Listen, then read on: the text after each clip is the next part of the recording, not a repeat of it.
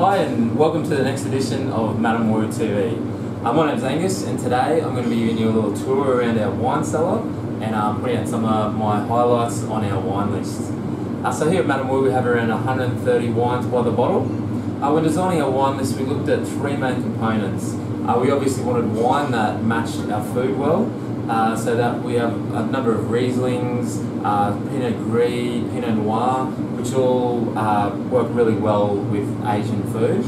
Uh, we also wanted a number of wines from different regions around the world.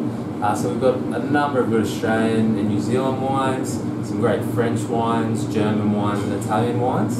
And thirdly we wanted to look for wines that uh, were a, a reasonable price. So some really quality wines, some that were very affordable, and some more indulgent wines for special occasions.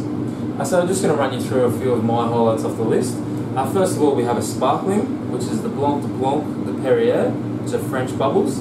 Uh, now this one, it's a real floral aroma, but a very fresh mineral finish, very easy to drink. Uh, very versatile bubbles, but it uh, pairs very well with our duck buns, that one.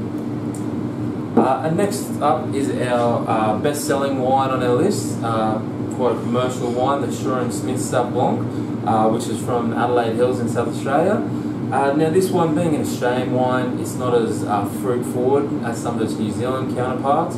Just very crisp, dry wine, very easy to drink, and I think works very well in the, in the hot climate up here. next up we have a French Chardonnay, or Chablis, the William Domain um, this wine, I think at $60 a bottle, is one of the best value on our list. Uh, it's it's very long and deep finish, um, but very subtle flavour and a very refreshing wine. Uh, this glass of this would go really well with our wagyu dumplings or with our chicken ribs.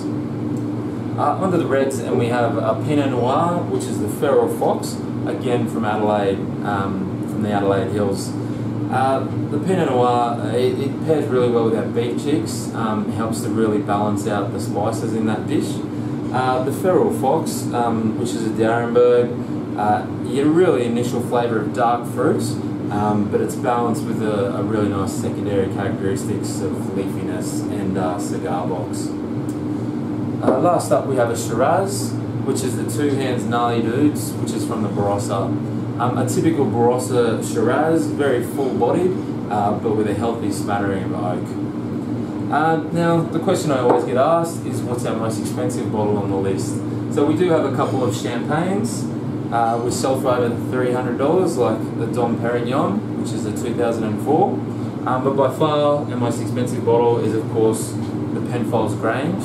Uh, here we have the 2008 vintage, uh, which sells for $1,000 a bottle, but if you mention you saw me, I'll give it to you for 900 So that concludes our uh, look at the wine list. Next up, we're off to the kitchen to go through and uh, see how Chef prepares one of his delicious dishes. Thanks for watching and we'll see you in here soon.